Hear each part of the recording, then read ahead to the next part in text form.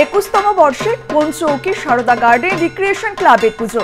এই পুজোর এবারের শারদ ভাবনায় উঠে এসেছে দেবীঘর এছাড়াও বাঁশ, গামছা ও বিভিন্ন পুজোর উপকরণ দিয়ে সেজে উঠেছে পুজোর মণ্ডপ। মণ্ডপের মাঝে বিশেষ আকর্ষণ মহাদেবের বিশাল মূর্তি। থিমের সঙ্গে সাজুজ্য রেখে তৈরি হচ্ছে মাতৃমূর্তি।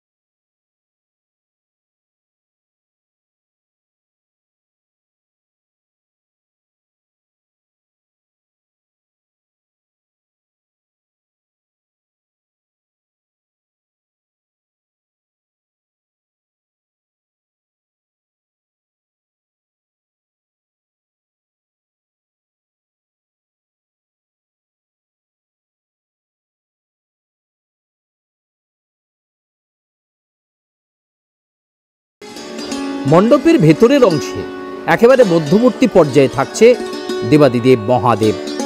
আর তার উপর এসে পড়ছে জলরাশি। আর এভাবেই পঞ্চৌকি সারদা গার্ডেন রিক্রিয়েশন ক্লাবের এবারের শারদ ভাবনা সেজে উঠছে।